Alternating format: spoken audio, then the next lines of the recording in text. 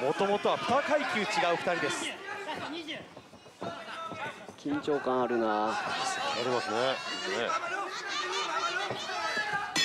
お第3終了です。あっという間に終了のゴングで思わず思って僕選手どう映りましたか？そうですね。あの松根選手は作戦通りって感じでルミナさんもあのまあ、攻めあぐねてるっていうよりかは、まあ、引きすぎないようにしてるって感じですかね。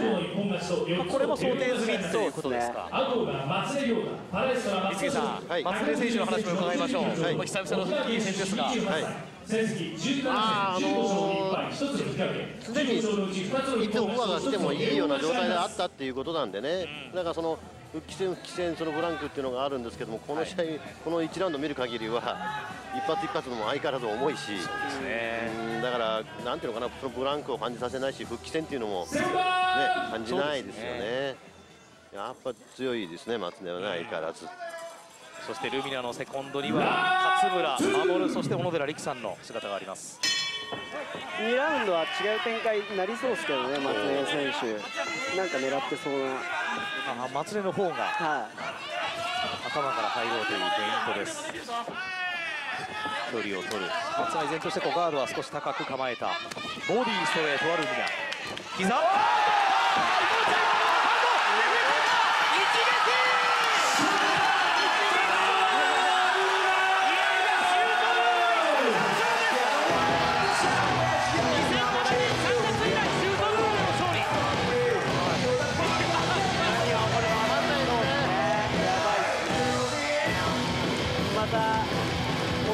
したね、ルミナさん。美味しいほど。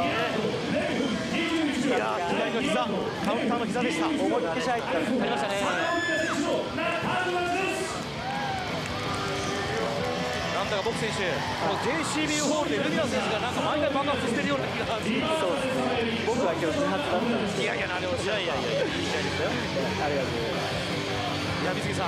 はい。まず本当にこのカードが想像できなかったカードいざ蓋を開けてこういう展開でした、はい、だから、あのー、ルミナがねやっぱりその1ラウンド待ち待ちでこらえてすごい嫌なムードになったと思うんですよ、ルミナが。でもそこでやっぱりこらえてるのは彼彼の経験値だと思うし、えー、2ラウンドも前出てきたところあそこで合わせられるっていうのはやっぱり彼がベテランであるゆえんだと思うそうですね、えー、やっぱりその豊富なキャリアがねこの試合は上回ったんじゃないですか。実力は本当紙一重ですよ。なるほど、はい、僕選手行き過ぎないようにでも行く時は行ったっていうところなんでしょうか。そうですね。あと久しぶりにルミナさんがあのー、相手より体ででかいあなるほどっていう試合だったですね。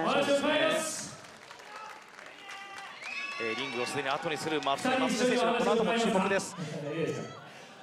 おめでとうございました。ありがとうございます最後はドンピシャリ膝から最後は畳みかけましたね。そうですね。あれもまあ狙ってた技なんですけども。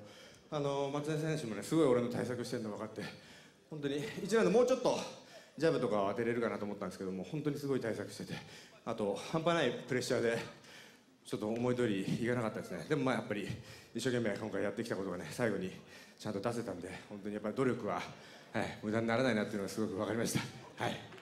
去年のバーリトゥードジャパンからそして今回のこのザ・ウェ of Shooto でのナックアウト連続ナックアウトになってます。そうですね。あの結構ね前からあの小野寺力コーチにずっと打撃のあの技を習ってきたんですけどもなかなか試合で結果が出せなかったんでね。あのもう本当にやっと恩返しできたかなっていうこういう打撃が成長したところを見せれて試合で結果を残せてあのすごく満足してます。はい。さあではまだまだこの後の戦い皆さん期待してると思いますんで最後にマイクをお渡しします。皆さんに一言お願いします。あの いやあんまり期待されてもこの先そんなに長くやりません。あの今日もね内容次第だったらもうやめようかなってもうあったんですけども。はい。割とまだやってみたらできそうだった。もうちょっと続けようかな、はい、なんであの本当にね前回も言ったんですけども残りもう本当に何十戦とかもやるわけは絶対ないんであのできるだけ皆さんあの都合合わせて試合を見に来てください、はい、よろしくお願いします。僕選手どんなふうに聞きました？素晴らしいやっぱ次はあの60キロで今一度みたいや契約した契約体重じゃなくてで勝村さんと。もうそれはもう絶対だと思う。です2人避けては通れないストーリーになってると思うんで。すよなるほどなるほど水木さん、まあこれスローシーンも出てますが、ちょっと見ましょうか。え潜って多分松江選手は右行こうとしたんじゃないですかね。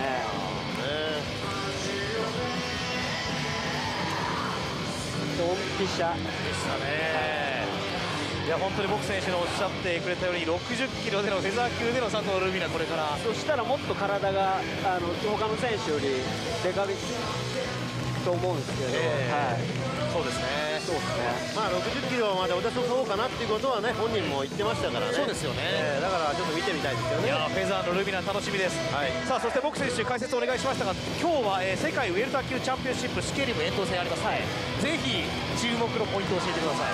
そうですね。やっぱあのー、シケリム穴がないんで、でも遠藤君勝負強いと思うんですよね。でそこだと思うんですね。なるほど、えー当然ベルト巻いた人のところを狙うわけですねそうですね。できればあの日本にベルトあった方があの狙いやすいんで、遠藤君に頑張ってほしいです。そうですよねはい。はい。さあ急遽解説お願いしました僕高天選手どうもありがとうございましたありがとうございました